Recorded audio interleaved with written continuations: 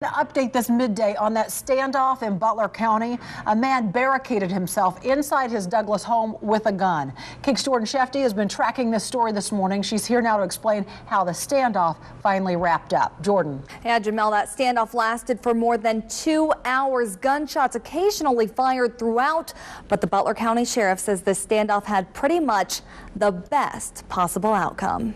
Sheriff's deputies in Butler County forced outside into the bitter cold of Monday night.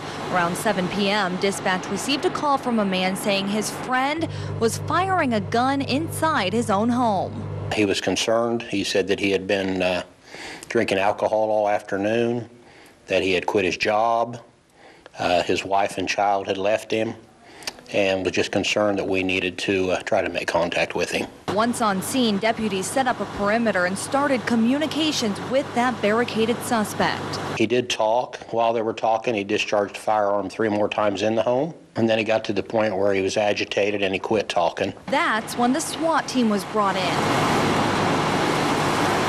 Sheriff Herzet said the department has dealt with this individual several times in the past and therefore knew to be cautious because of the high amount of guns in the home. But he assured us that uh, he wasn't going to harm us or hurt himself and, and, that he would come out. And sure enough, nearly two and a half hours after the ordeal began, the man came out with his hands up and was taken into custody. We only wanted to protect this man as well as the people that live here in Douglas. Tonight's outcome was a good outcome.